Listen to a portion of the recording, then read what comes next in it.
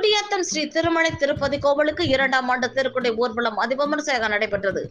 வேலூர் மாவட்டம் குடியாத்தம் ஸ்ரீ திருமலை திருப்பதி திருக்குடை கமிட்டி மற்றும் விஸ்வ ஹிந்து பரிஷத் சார்பில் இரண்டாம் ஆண்டு திருக்குடை ஊர்வலம் அதிவிமர்சையாக நடைபெற்றது. முன்னதாக குடியாத்தம் சந்தப்பட்டி பகுதியில் உள்ள ஸ்ரீ ஆஞ்சநேயர் கோவிலிருந்து திருக்குடை ஊர்வலம் நடைபெற்றது. முன்னதாக ஊர்ச்சவர் பத்மாவதி தாயார் வெங்கடேச பெருமாள் ஆகியோர்களுக்கு சிறப்பு பூஜைகள் செய்யப்பட்டு தீபாரதனை நடைபெற்று அப்போது கிராமிய கலையான சிலம்பாட்டம் மான்கொம்பு கத்தி சண்டை உள்ளிட்ட நிகழ்ச்சிகளுடன் ஊர்வலம் நடைபெற்றது.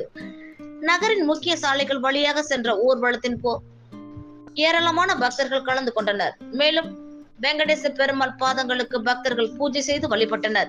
இதில் விஸ்வ இந்து பரிஷத் மாநில அமைப்பு செயலாளர் ராமன் மாவட்ட இணை செயலாளர் கார்த்தி நகர பாஜக மூத்த நிர்வாகி ஹரிகிருஷ்ணன் உள்ளிட்ட பலர் கலந்து கொண்டனர்.